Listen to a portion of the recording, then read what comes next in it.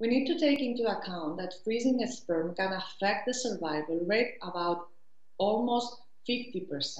That's why we do a thawing test after freezing to see how is the survival of that particular sample.